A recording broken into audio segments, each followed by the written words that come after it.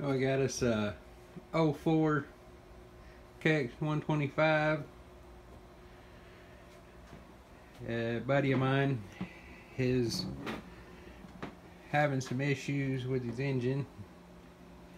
Had some water pump problems and uh, I think head gasket or uh, the O-ring was messed up or whatever. And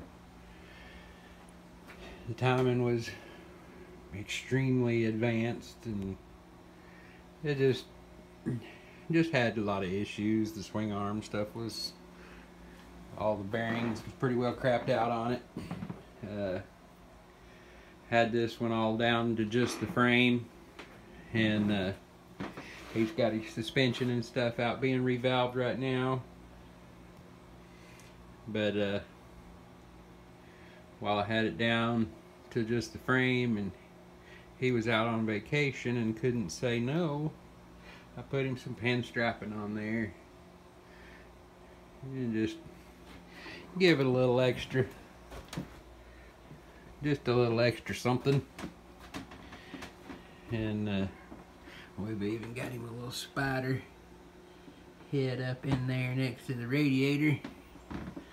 We he'll forever have a passenger. But uh coming along pretty good. Got a big bore Athena kit on it.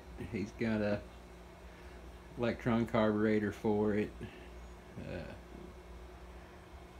probably going to be his main ride when we get her all put back together. I think I'm going to go ahead and probably, while he's still out on vacation, put some pinstripe bands around his wheels just for the hell of it. But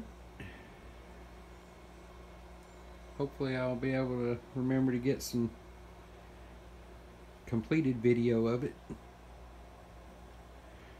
when it's all done.